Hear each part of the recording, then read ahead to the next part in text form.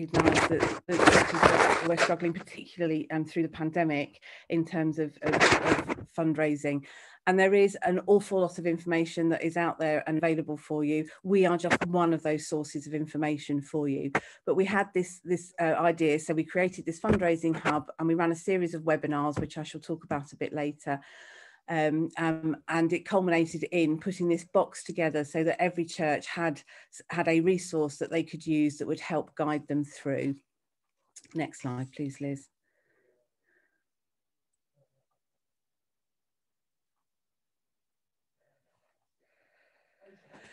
So the, the, the, the purpose of the box is to be a step-by-step guide to help you navigate through um, through the complex world of, of church fundraising. Um, that it contains four booklets, um, which we'll go through one by one. Um, that it, the purpose is to make your fundraising journey um, easier and more successful.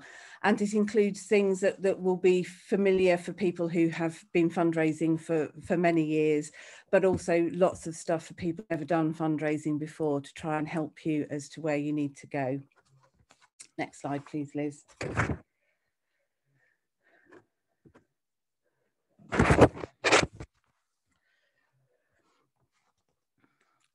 I can't see it's coming up. So um, um, I don't know where the next slide is. Um, yeah, excellent. Um, so if you've opened your box, you should have four booklets in it um, with numbers one, two, three, and four on.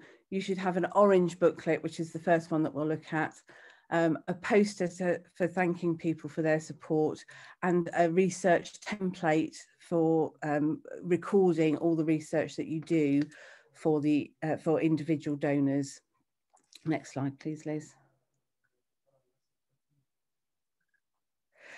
So the orange book booklet, um, I don't know if you've actually got the book the box in front of you, but if you look in the orange booklet, next slide, Liz, um, it, it, contains a quick guide um, in the open, front two pages um, that, that, detail the rest of the contents um, and it gives you the um, a, a, quick find for fundraising needs and where you need to look for them.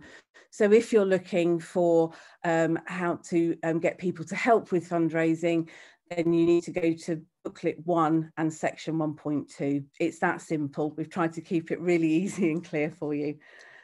Um, um, so whether you're new to fundraising or have some experience, you can quickly and easily find the things that you that you need to um, need to look for. Next slide, please, Liz. one of the things that it contains is some key fundraising terms that you can understand what the guys are referencing um, and also a checklist to help identify the things that you need to consider with any fundraising project. And fundraising in this context includes your regular and planned giving, as well as, as fundraising for specific projects or needs. I think one of the key things to remember in this is that you can't eat an elephant in one sitting um, it needs to be broken down into bite-sized pieces. So when you're thinking about your parish's fundraising needs, it can often feel like a really enormous task, whether it's for a major project or just to keep um, going, um, as so many of us are at the moment. So it's really important to, to keep motivation by breaking it down into small steps so that you're not trying to tackle the whole thing at once. And the box of resources breaks the four key areas for fundraising, which are planning, finding donors, making the ask and saying thank you, um, down into those manageable, manageable chunks to help you. Next slide, please, Liz. And I'm just going to hand over to, to Heather for this one. Uh, good morning, everyone. I'm delighted to be with you today, albeit remotely, but it um, it has meant I haven't had a long drive from from West Yorkshire. Um, as Liz said, I'm the church insurance consultant. I stepped into Kay's very large shoes. Um, and from the feedback I've had so far from churches, it suggests that you're going to be very well supported down down in the southwest. Um, so looking at the uh, the planning, which is a really important sort of fundamental part of the beginning of your fundraising campaign. So it's worth spending time get, getting this part right and doing the preparatory work. Liz, could I have the next slide, please? Thank you. So um, there's three elements to planning that you really need to think about. The fundraising vision, the fundraising team, um, and the fundraising plan. And the fundraising vision, as it said there, it really should inspire. Um, it's about demonstrating what the shared goals are and what the aims and objective of your fundraising campaign is about. It's about providing a clear um, and consistent message and showing what that um, shared goal is. It doesn't have to be complicated. In fact, succinct um, fundraising visions are often more more helpful. And what it should do it should enable anyone who's involved in the campaign and the wider church community to be able to articulate what that fundraising campaign is all about and give a real clear message to donors and funders what, what you're wanting to achieve the fundraising team it's very much about finding the right people. And that doesn't necessarily mean that it needs to be uh, people who have got a lot of expertise um, in fundraising. What it what you really need in your fundraising team is people who've got that stamina and commitment and really knowing what they're letting themselves in for. And when you're looking for volunteers, being really clear and honest about what the commitment is that, that you need. There may well be people uh, within the congregation, within the PCC, that have particular skills, maybe hidden talents. Um, and in the booklet, the, the book one, um, there's a skills audit template, um, and that will help you um, ask the questions and find out what, what talents there may be already within your congregation. Um, it's an opportunity to get other people involved. Um, and I think COVID in itself may bring new opportunities to bring new people in. As we've seen, COVID, the pandemic has unfortunately meant a lot of people have lost their jobs. People have changed their priorities, their circumstances have changed, and there may be people who want to become volunteers for your church and who are able to bring different skills or able to learn new skills themselves really important it's, that it's a fundraising team. Um, so it's not left to one or two individuals to carry the whole burden, but it's important that it's driven maybe by one or two people who who drive the project forward um, and maintain that momentum. There's a question over about whether to employ a professional fundraiser i.e. somebody who will fundraise on your behalf but for a fee. And there's pros and cons to that. And the Charities Commission have got lots of information uh, to help trustees, help PCCs think about whether it's, it's right for them or not. The other important thing within the fundraising team is to celebrate success because there will be peaks and troughs and there'll be times when you want to crack open that bottle of champagne and there'll be times when you want to kick metaphorically kick the cat. Um, but but build on build on that success because that helps build the track record for future applications as well, and it will sustain you um, through the knockbacks that you inevitably have. Believe it or not, being part of a fundraising team and running events can be fun. And we know through this whole pandemic, um, one of the issues we've had, we've all been very isolated from each other. And so fundraising events can bring people together, even if it's only remotely. And as we know, that's needed more than ever now. Fundraising plan or the fundraising strategy, simply put, it's the funds that you require and the tasks that need to be undertaken in order for you to develop, um, to deliver your plan. It involves donate, uh, donor research, which Kay will go on to talk about in a little bit more detail later on. But again, there's a template in book one to help you think about your um, fundraising plan and what you need to put in it. It should hold key, um, key information um, and it's a working document basically to keep track um, of your plan. And it can be really helpful to demonstrate to funders that you've got a fundraising plan because it shows that you, you've got good governance um, and you're approaching this in, in an organised way. And remember, before um, you apply for grants, you'll need to know what the project costs are and make sure those project costs are accurate. Because if you get them wrong, you're unlikely to be able to go back uh, to a funder to, to get more uh, to get more money. Um, and some funders will put a cap on the level of professional fees that can be included. So those are things that, that you need to think about.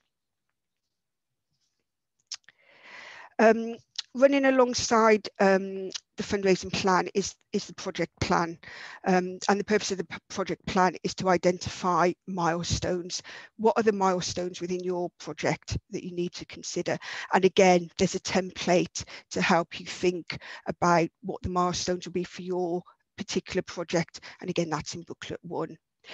The beady-eyed amongst you will notice that our um, project plan talks about planning rather than faculty. Now, for most cases, we'll be looking at faculty for the projects that we're looking at, but statutory planning might be required and your architect or your DAC will be able to um, help and advise on that. Now, put together, the project plan and the fundraising plan will help you with cash flow.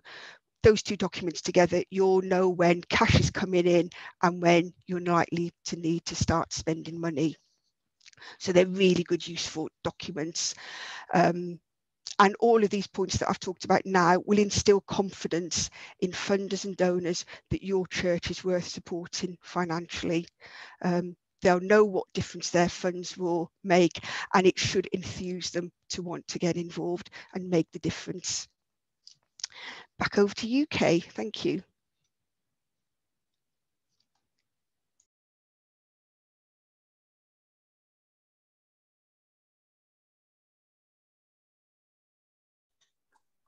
take myself off mute. Sorry. Uh, the second booklet in, in your box is the blue one, um, Finding Donors. If you could move on to the next slide, please, Liz. And identifying potential donors is going to be key to success, whether that is for your um, for a major project or, or for general funds. Um, you need to find people who are willing to give you money. Um, there's a template included in in in the box. It's the blue one.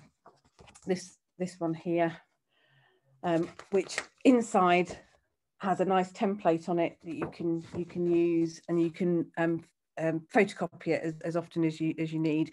Um, but there's also some fictitious examples in the booklet to help get you thinking about the the, the different types and and and places that you can go.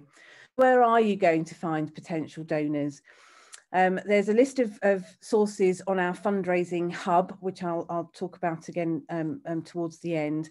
And, and, that's very helpful to start your research. Um, there's also um, lots and lots of um, uh, online databases, some of which do require a subscription um, but for, for helping to find uh, find grants. And there are websites that are dedicated to church funding, um, such as Church Grants, Parish Resourcing, and the Charities um, Aid Foundation. Um, and of course, there is All, All Churches Trust. Um, but one, one of the really brilliant pieces of, of where to look for funding that you have in, in, in Cornwall um, is the list of, of funding that is list of sources of funding uh, on the Transformation Cornwall website. Um, and they publish a list of funding sources that's updated weekly um, and it's especially useful for faith-based social action projects um, that I've put a link at the end um, to, to their website um, but it's it, that's a really really key um, place to go and, and, in fact it's so key we have it on our fundraising hub as well as, as somewhere to go for, for, for, information as to where you can find find donors and in this context we're talking about the the wider donors the, the, the grant making bodies. Um, funders want you to apply to them. It's the reason that they exist. Um, that's what they're there for. They are there to give money away. Um, so their websites often also contain a wealth of useful information to help you in your application because they they want the things to be right when they receive them too. Um, so as I say, there are lots and lots of sources of information um, for you. Um, and um, the, the booklet gives you some of those where you can actually go and look the type of donor and their area of interest is important here. There's no point asking um, people or organisations who specialise in bells to donate for organ repairs, for example. Um, and not all grant making organisations uh, support religious activities. So, how you frame your project is very important as well. You need to research the potential funders in detail to make sure you're approaching the right ones for your project. And think about too is it exclusively for the congregation's benefit? Um, so, for example, do you want something that is just for live streaming your services to your congregation on a Sunday? Or is it something that could conduct for community benefit so could um, could you actually become a community hub with um, with computer resources and, and and Wi-Fi resources that the whole community could use because funders are much more likely to support that sort of project that's more community focused than, than, than ones that are specifically just for the church's benefit. As you research your donors, keep your vision firmly in mind, that vision that, that Heather referred to, but don't be afraid to expand it or update it um, as, or update your plan as you find out information that could be of benefit later because it might be that you're researching something and, and they're not suitable for what you're looking at right now but actually they could be useful later um, so so make sure that when you're researching your donors you're, you're thinking wider than than just the immediate picture so that you can um, you can keep the, the details handy on your template of research so that you can um, you can come back to them later. And as well as grant making bodies, your local community is also a source of funding. Um, so um, ways to um, think about reaching out and who you need to reach out to. Think about those who, who have um, an interest in whatever your project is covering. so if it's if it's something to do with youth, um, could could the schools be involved? Um, are there other bodies uh, around um, uniformed organisations that, that, that, could have an impact and an interest in, in, in what you're doing? Think about the people that might benefit from it. And are there those groups of people that you could draw in as well? And community here can include not just the people that live locally, but those that have a connection with the church uh, in, in some way through being married there or grandparents or whatever. Um, those who love church buildings, um, there are an awful lot of church crawlers uh, around, and, and, there are some of them on this screen. um, and, um, and they might want to support specific types of projects, um, such as youth or, or older folk um, and so on. You might have walking groups or, or local schools or civic groups that, that can help, not just ne necessarily financially, but they also might be able to provide practical support um, uh, to you as well. So don't forget those, those, those people in the wider community. I think one of the, the main things is that communication is, is key to whatever you're doing. Um, um, and in the same way that you need a clear vision and plan for um, for grant making bodies, the same also applies to individuals and, and, and groups. Why are you fundraising? How might they be able to help? What difference will their support make? Engage them with your story and have a clear message. And then rally support to get the story out to the community, whether that's through a personal approach, so individuals talking to other individuals, um, or it could be an online presence, getting your message out, out that way, um, there was a church in Derby Diocese who'd suffered a significant theft of metal. And they, they decided that they were going to start a crowdfunding campaign and they put some banners up by the side of the road so people driving past could see it all the time. Um, and um, and they ended up uh, they have an aim of raising twenty thousand pounds, and they raised over thirty five thousand in in the end. So that communication bit of that is actually key as well. Um, ask your congregation and supporters to post on their social media accounts to spread the message further. And you can also garner the, the support of the local press, radio and TV. Um, many years ago, more than I care to remember now, um, I used to be a scout leader and we were desperately short of leaders. Um, and we had a very long waiting list for children coming into all of the sections. So we contacted the local radio to make an appeal, um, and uh, and and they said yes, they would uh, they would do something for us. And, and in the end, it turned into a half hour interview, um, um, and which happened a week before our annual um, group camp. And we chatted about our group and what our plans were for the future, some of the things that we'd done in the past, what we were looking to do, and what we needed for that, which was mostly volunteering. um, and then what that actually involved. So, so what we were asking, what did we actually really need people um, to do? Um, the radio presenter ended up coming along to the camp to do a live broadcast from it. And we were so overwhelmed with the number of responses. We, we, had, we had far too many that our group could use for volunteers. Um, and so, um, uh, um, but we didn't just have them in our area, we had them across the whole county of, of volunteers coming forward to, um, to become leaders. Um, so we had a story to tell and we got it out to a much wider audience than we would have otherwise um, done. Don't be afraid to, to, to let your light shine. Don't hold, hide it under that bushel. Um, communicate and get that message out to as many people as you possibly can. Back over to Heather for the next bit. Just, just to add to that, can I just add to that? Because interestingly, Miranda's put in the chat, um, researching families commemorated in their windows produced links to trustees of two separate funding bodies, which is really mm. important, seeing what those, those links from your parish and your church in particular. Uh, have you had any experience of that? Have you come across that before? Okay, or Heather? Is that to me? Yeah, yeah. Uh, I, I haven't, um, Liz, but Heather may well have done. Yeah. I, I guess it, it's it's about researching, isn't it? And it's looking what what are the assets that your church have got that other people will be interested in. Um, because there's there's likely to be something in a church that will interest somebody and and it's just about it's having those conversations isn't it um, and making those connections, which I think is why it's so important that our churches are open so that people can come in. I think there's that real connection that people are interested in in coming and having a look. Yeah, uh, yeah. and, and that, that open churches is so important. Yes, and definitely that that those windows are so are so vital. We don't see that again. Thanks for that uh, at Crowan as well in researching the windows, important links. Great, thank you.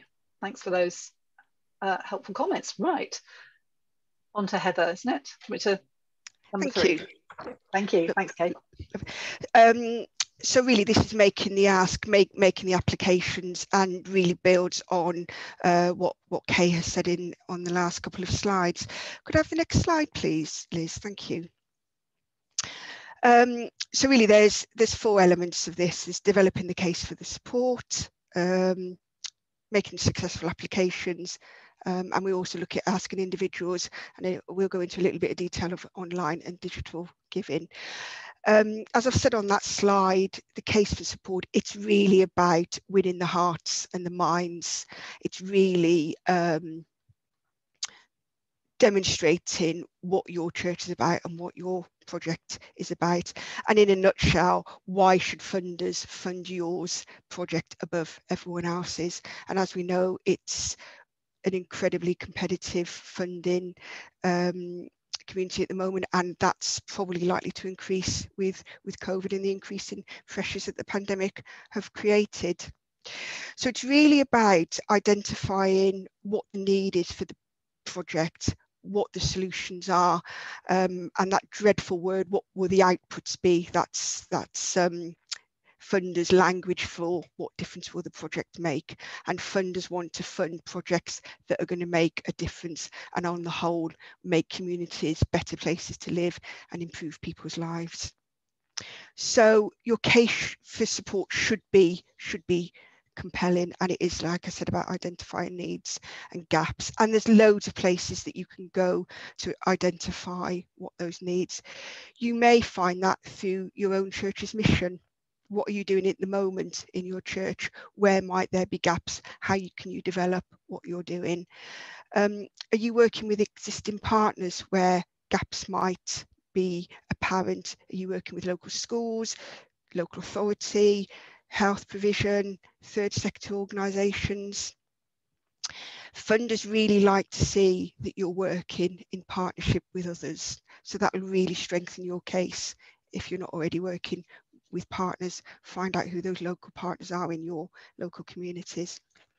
Community consultation is a really good way of finding out what the needs and the gaps are. And it doesn't have to be complicated. It's just about organising meetings, holding conversations, asking questions, getting insight into what is happening in your local community. And statistics, statistics are great at supporting our um, applications. And there's lots of statistics that you can um, search from the, the Church of England, uh, do spotlight reports, um, and there's the Church Urban Fund that do a, a lookup tool. And basically with those, you just put in your parish postcode um, and it will provide loads of information um, about the trends and issues um, in your parish and really helpful to use to support your application. For everyone who's involved in churches, we know that they make a huge contribution to the community and often provide a safety net for the most vulnerable um, in our society. And that's illustrated really beautifully um, in the House for Good report that was published last year um, for the National Churches Trust. Um, I don't know whether you've you may have already read it, but they estimated that the total economic and social value of churches that they contribute to the local community is about 12.4 billion a year, which works out about 300,000. So that's a huge contribution.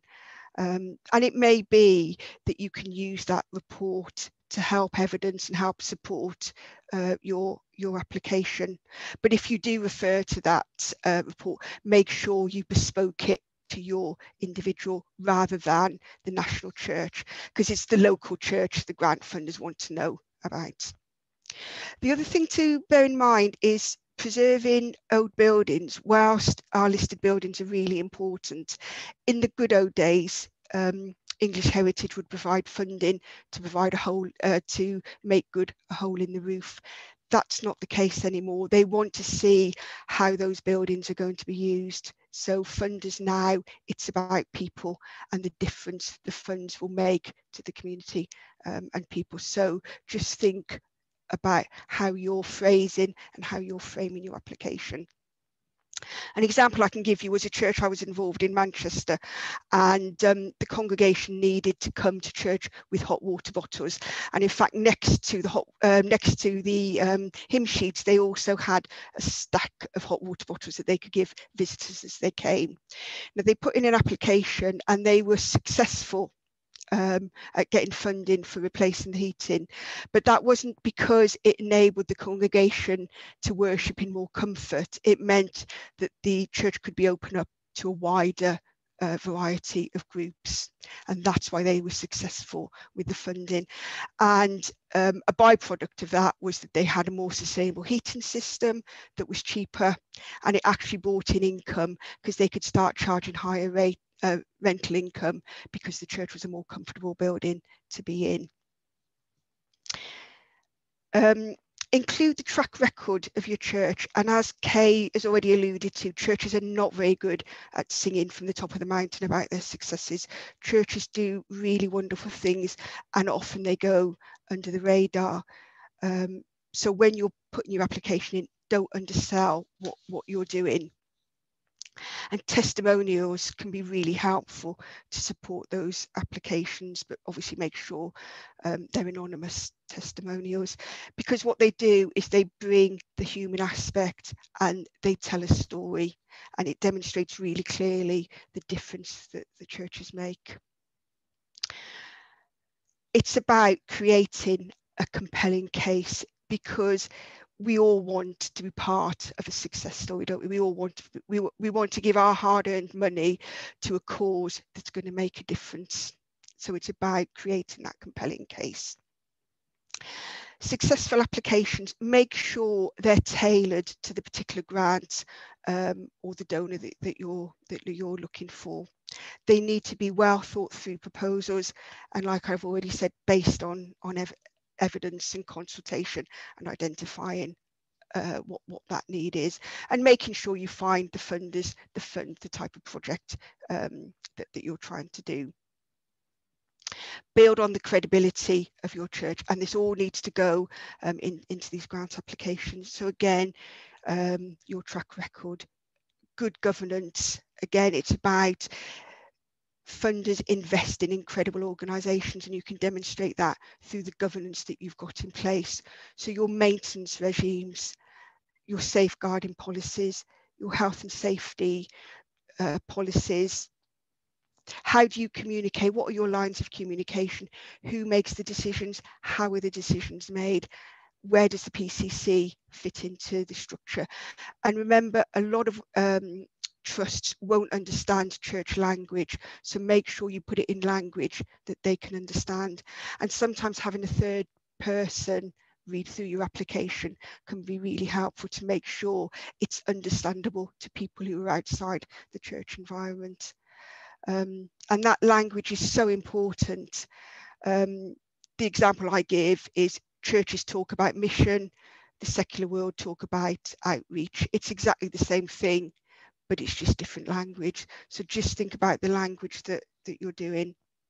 Make the applications easy to read, not large chunks of text. Break it up, use subheadings, make it easy make sure your costs are realistic and your timescales are realistic and make sure you build in some contingency because as sure as eggs is eggs there will be slippage and something will go wrong um, and trusts will take a view that they'll know whether you've over egged or under egged the costs and, and the time scales that, that you've put in and think about what permissions need to be in place and whether you need match funding and where that match funding is going to come from. A couple of interesting um, examples which you may well have come across. There was um, a church in, in Wiltshire that they found, tucked away in a cupboard, they found a Dutch Old Master um, which they sold for a huge amount of money and managed to do a fantastic re- well, some people think it's a fantastic reordering, other people don't. I guess it depends where you're coming from. Um, but it's the church in Bradford on Avon, a really interesting one.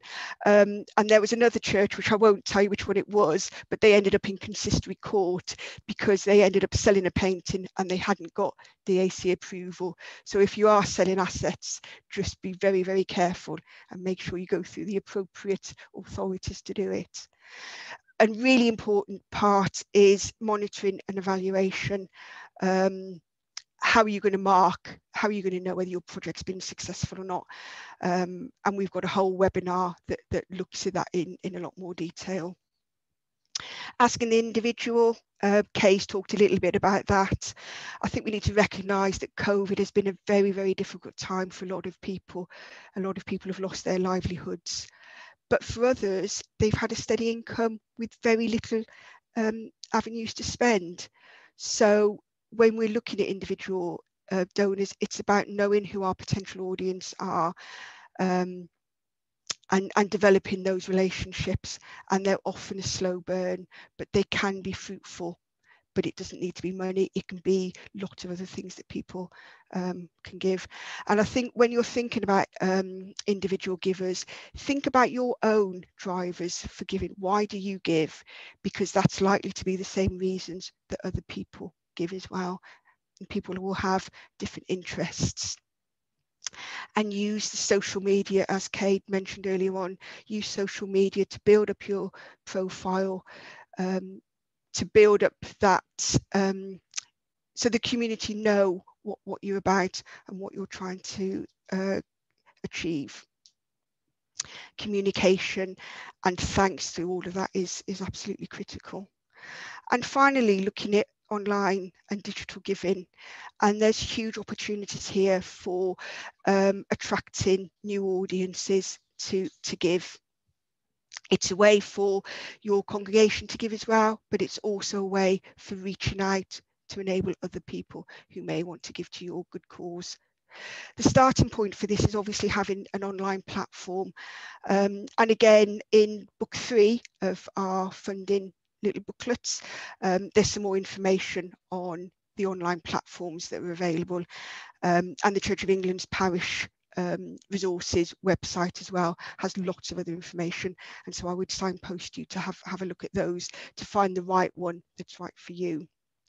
Um, the little booklet mentions crowdfunding and that can be a really useful uh, funding tool. Usually it's for a specific project but they need to be very short, usually about two weeks and you really need to use your social media presence uh, to make what I would say is a, is a big splash to, to get it out there.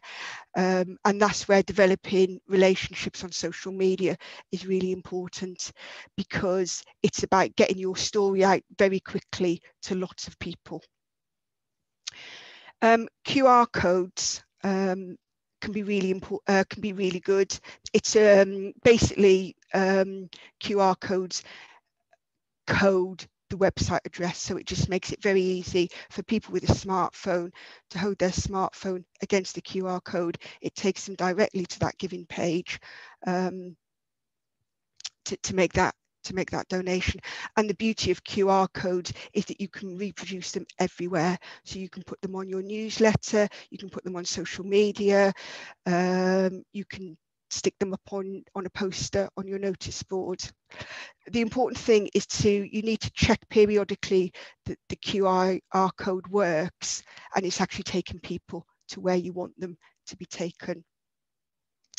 Contactless devices, again, there's loads of different ones um, on the market and parish buying um, Church of England's parish buying give you lots of information to find the right one for your church.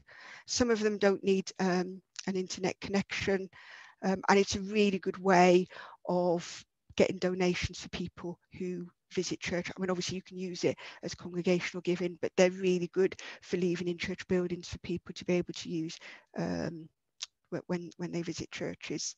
And interestingly, in 2018, there were more card transactions than there were cash transactions.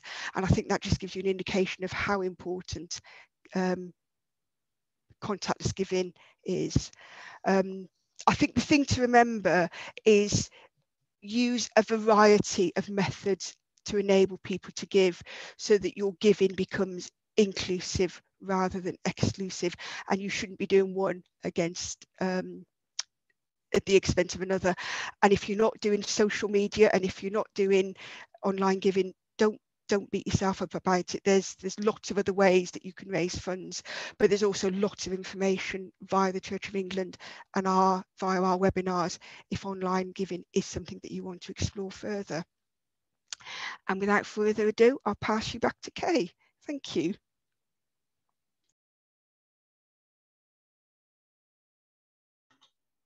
You're muted, Kay.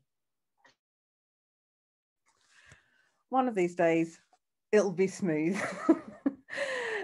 sorry for that. So yeah, saying saying thank you um, is the subject of the fourth um, uh, booklet, um, and and most of it really is actually common common sense. We all like to be thanked when we've done something, um, and and this is this is no different. Um, and we, we've already mentioned the importance of considered and clear communication and saying thank you is just a part of that communication. Individuals who are thanked for donating are more likely to give again when asked. And a study in 2019 found that first time donors who received a personal thank you within 48 hours were four times more likely to give again. That's that's pretty significant and it costs you a thank you, um, but that opens up further further giving um, in in a way that um, it, it is quite astounding, really. Um, I mean, four four times is is just uh, incredible. So do thank your donors, um, and and when you are thanking them, keep it personal, um, not a pro forma. Um, tell them what a difference their donation has made. Um, and keep them updated with the progress. Sorry, Liz, could you move on to the next slide? Sorry, I forgot. there we go. Yeah, make it personal. Um, keep them updated uh, with with the progress of the project um, as well, and consider how you might celebrate when um, when your project has come to fruition, um, as as Heather mentioned um, earlier on. Um, don't ask for a further donation straight away. So when you're thanking somebody, don't ask them for more. Um, but do know what you'll say if they ask you how else they might be able to help. And it might not just be a financial contribution, it could be volunteering, it could be helping you to get the message out even further. Um, you know, they may have a network of friends with the same interest that they can pass it on to. So, so be prepared to know what to say if somebody says, is there anything more that I can do? Um, one of the things that it did occur to me here is, is how often does your church thank its regular donors? So your congregation, the ones who are giving week in, week out. Um, I have been in one church where I was thanked for my donations um, and, and only one church where I was thanked for my donations. But I have when I've been on holiday and, and things and I've, I've, I've been to church there um, and I've gift aided it, then those churches have often just sent a, a letter at the end of the year, um, which is quite um, um, you know useful for, for doing your tax return and everything. Um, but um, but they say thank you. This is what you contributed this year. Thank you so much. It's enabled us to do this um, and, and it does make you want to uh, want, want to give again. Um, but I think perhaps our congregations at the moment need thanking more than ever for that continued commitment and support that they're giving to us. Ways that you can thank people so um, direct communication so phone calls letters emails um, social media and through your website are, are, also great ways. You might not want to thank individual donors that way but certainly for for donating uh, for thanking um, corporate donators or, or trust and grant making bodies um, then um, if they've given you support then putting a thank you on your social media is is, is good for that um, sending photos and videos of the progress. Um, there was a, a, church that I was involved in uh, in Manchester um, that had had a fire, and every so often there would be a, um, a, a, video um, clip that showed the progress to date. Um, you know, a fast moving one, so you didn't have to sit and watch through three years of, of repairs. but, but actually, it gave it gave the progress and the updates and that enables people to still feel engaged with it even after they've given um, again ready for that next bit of, of, of maybe asking for something else. And be honest you know if you've suffered a setback then then be honest about it but frame it carefully um, so that people you don't want people to lose confidence in you but you want you want to be open and transparent so that they they they have that confidence that you can come through this and do the next the next bit too um, asking for, for views and advice from people. Um, um, it, it, say it's not just necessarily the money, but that that advice and guidance that people can give you is really valuable as well. And that helps people if you ask somebody what their opinion is, what you know, what what you do uh, uh, on something, it, enables them to become emotionally um, and or spiritually connected with what it is that you're doing um, and somebody that you um, um, you may be connecting with um, somebody who's experienced in a particular aspect of your project who does really want to help you. Um, so that communication, that saying thank you are really, really key. Next slide, please, Liz. We've mentioned um, a couple of times um, now the fundraising um, hub and the resources on it. Um, so the hub was set up um, in May last year when we launched this, this project. And then throughout the rest of the year, we ran a series of webinars to help support you. So there was the first one was on um, top tips for fundraising, um, not just during COVID, but beyond as, as well. The second one was digital fundraising um, for, for the church. The third one was keeping in touch with community congregation and supporters. So again, that's a lot about the communication side of it. Um, we did one specifically on successful grant applications and then one on measuring and reporting your, the success of your project because those are, are, really key elements of it. All of those um, webinars are available to watch back at any time on the fundraising hub um, on and on the next slide or the slide after that I've put but in the slides there is a there is a link to directly to the webinar page so that you can go straight there um, um, to have a look. Um, and each of the webinars um, also had some fact sheets um, supplied with it to give you some quick reference and easy easy ways of, of picking out the information for each of those those subjects. So if you've not had a look at the fundraising hub yet, go and have a look. It, it does have a wealth of information on it that, that is useful for you. Have the next slide, please, Liz. oh, look, and there it is. so there's the, the website address for the fundraising. The, the webinar one is, is will take you directly to the page for the webinars. And then there's a telephone um, um, helpline that's available to you or an email, and you can email a query in um, as well. In Truro Diocese, those queries will come back to me. Um, so um, um, and you will have my details too. So um, so do be free to be in touch. Um, but if you could, if it's a fundraising query, if you could do it through um, the fundraising helpline, either the email or the phone number, it just helps us to keep a track. And, and because fundraising isn't our core business, and we need to keep a little bit of separation between the insurance and the fundraising. So um, so yeah, please use the fundraising um, email address and phone number if you need to be in contact. Next slide, please, Liz. Um, so this was just a, um, some of the useful websites that we've mentioned through the webinar um, of, of, of, places where you can go for um, for information and um, and and to to either for applying or for actually supporting you in in putting your your application um, together. Next slide, Liz. And this is just our contact details. So, um, so um, Liz and I um, talk quite frequently uh, about what's going on in uh, in in in the diocese. Um, and if I get a query on the fundraising helpline, um, I, I, will often be talking to Liz about what that query is, so that we can make sure that we're giving you the best possible answer um, without you having to go to lots and lots of different places. Um, so um, so yeah, so so Liz is is is there for you in the diocese, um, um, and and she is a brilliant source of of useful information uh, on on all things. I don't know if you want to say anything, Liz, about your role particularly. Yes, yeah, thank you. Well, firstly, thanks, thanks, Kay and Heather. We'll, we'll have some questions in a second, uh, but just to say, yeah, I'm here to help you with your your funding, your applications, particularly that one Heather mentioned about having someone to proofread your applications. As somebody who's completely separate from your parish, I, I'm the person to send it to in a way, or you can send it to me. Um, and also church grants, just to say that as a diocese, we have a subscription to that. So um, if you want to access church grants, I'll send you, again, I'll send you the link to that because there's a separate link. And um, if you need your password, your code, every parish has one of those. But let's, I mean, we've got five minutes left and we have got some, some great questions coming in. Um, Shall I deal with the one? I know there's been a few queries about how do you get a box. Um, yes. so, so the boxes are available for ecclesiastical customers um, only.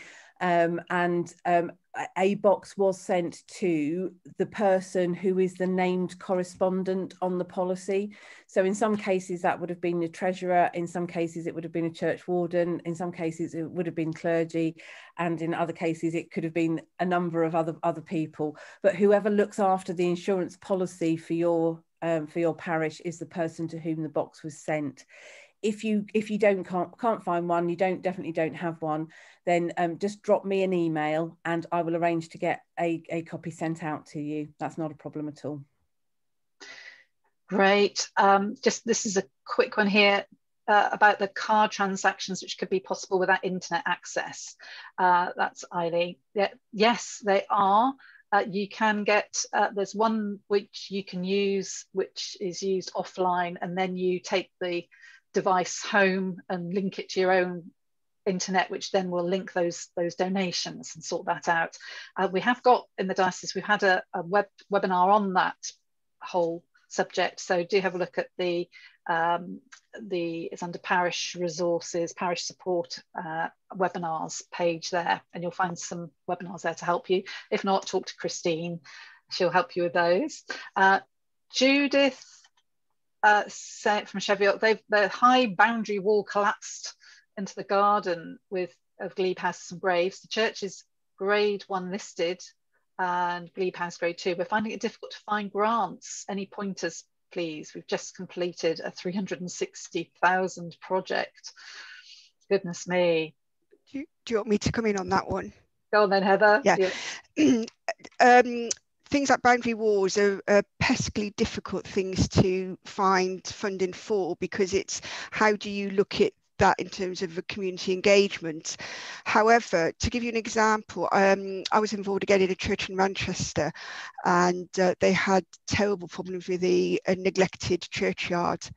Um, and some of those were boundary walls and headstones and um, you know wild wild undergrowth and everything. Um, and they were able to get funding on the basis of using it as a training opportunity. So they did dry stone walling as one of the outcomes um, improving the environment and they were able to access funding in that way. So it's often just think about what you wanted and just turn it on its head to think, how could we get the community involved in this? And actually, as a result of that project, um, it had a knock on effect for the church because people then set up a friends of group for the churchyard and then they became more actively involved in the actual church itself. Um, but it was on the basis of training that they managed to secure funding and improving the environment. Um, yeah.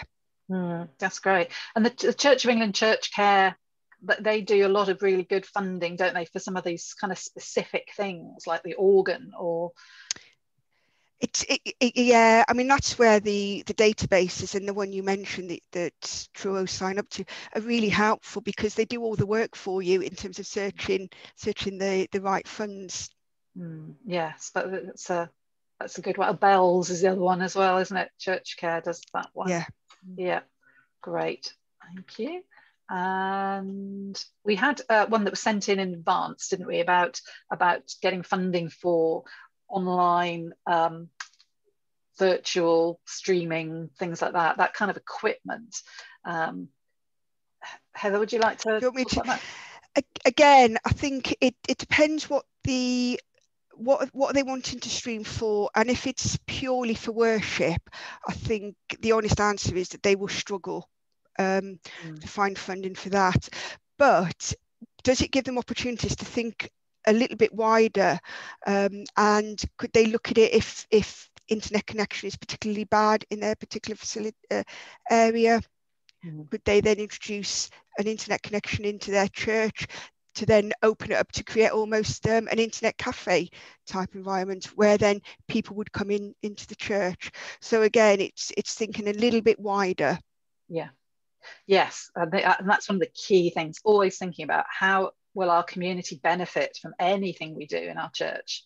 When you're thinking of having to applying for funding definitely isn't it? Mm. and i think sorry I, I think again it, it can bring real benefits because if you're bringing people into the church that makes the church more alive and potentially it brings in more money more volunteers but it just gives the church building a completely different feel if if different people are using it. Yeah great thank you and uh, question for Kay, is the fundraising in a box available in a PDF format? Um, um, uh, well, um, yes, I, yes, I suspect it, it, it, it could be um, if, if there was a, um, a, a need. Um, but I'll, I'll, have to check. I'll have to check. I'm I'm not sure. I'm sorry. Yeah, um, might be a um, good idea. Anyway, that's you know maybe that's something yeah. you can take back to head office. Yeah, yeah, yeah. I will. Yeah. I'll certainly. I'll pass that back and see if it's possible. Can I just come in, can I just come in on that one? A, a, lot of the resources that are in the fundraising in the box are on the hub. Um, obviously, you need to be online, but but there is it's it's replicated a lot of the electronic stuff that's online, so people would be able to download in a slightly different format. Great. Thank you, Heather. Oh, thanks, Heather. That's great.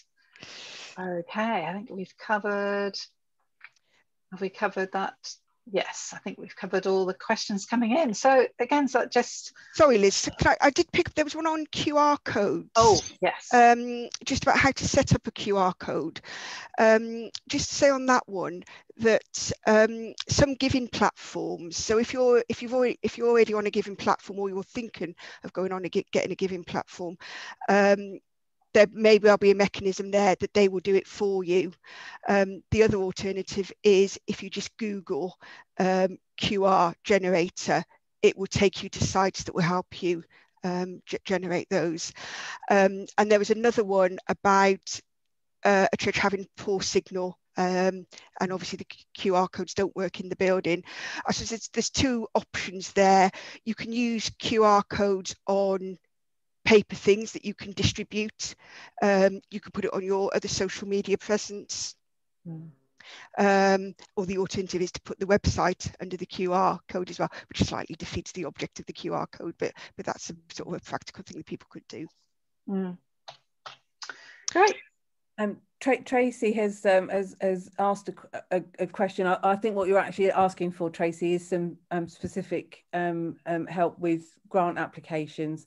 Um, so if you don't mind, we'll take that one offline, and I'll I'll contact you contact you separately on on that one because I am conscious that we're we've gone five minutes five minutes over. Great, yeah, thank you. That's great. Right, well, thank you, and for joining us today. Thank you so much to Kay and to Heather for leading us through uh, this resource. It's a, it's a wonderful resource. I've got mine here and uh, it's going to be very useful to dip into because actually I have to say, even though we have got things online, it is it is nice to have something to and it's all in one place, isn't yes. it? It's, yeah, yeah. It's, right. You can yeah. research the other bits and look more online, but you've got in front of you what's something that's useful to actually get you started and and and whatever. Um, yeah. There is, um, when we send the slides round, there is a um, a link to a um, to a survey, um, uh, a feedback survey, mm. which is our, our usual one. So it includes lots of questions about what other training and things things you might find useful, but it has some specific questions around the fundraising in a box because we're trying to get some feedback on that to see, um, you know, how how useful people are finding it and, and if we need to make any any tweaks or anything. So um, so please do fill in the feedback and let us know um, your thoughts.